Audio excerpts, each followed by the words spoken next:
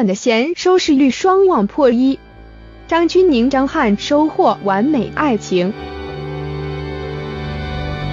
温暖的弦收视率双旺破一，张钧甯、张翰收获完美爱情。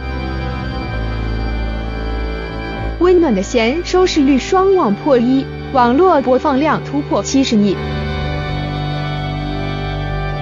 由张钧甯与张翰主演的都市暖伤纯爱大剧《温暖的弦》已于二十七日晚正式收官。剧中，张钧甯饰演的温暖历经十年坎坷的情感之路，最终收获了完美爱情。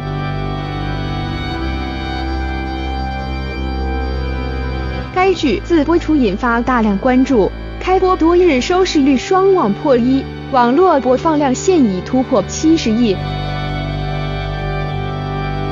收官当晚，战南贤、张翰氏、与艺心、张嘉倪氏设局假结婚。温暖张钧甯氏为了把握住自己的爱情，选择正面出击，鼓起勇气赶到婚礼现场，不料婚礼却早已散场。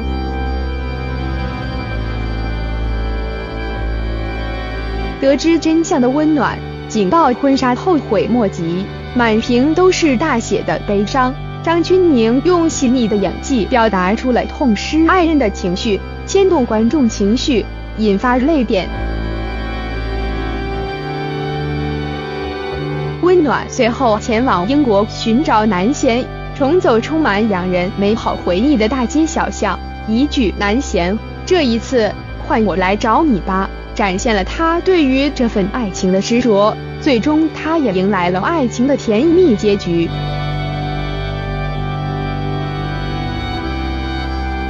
男女主角两人相遇，用一个拥抱化解了所有的思念，在伦敦演上浪漫共舞，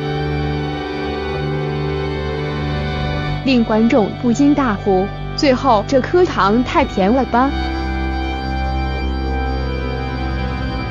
温暖的弦播出期间里，张钧甯凭借细腻的演技和实力，数十次登上热搜，连续名列各项数据榜单前位，引发了温暖热。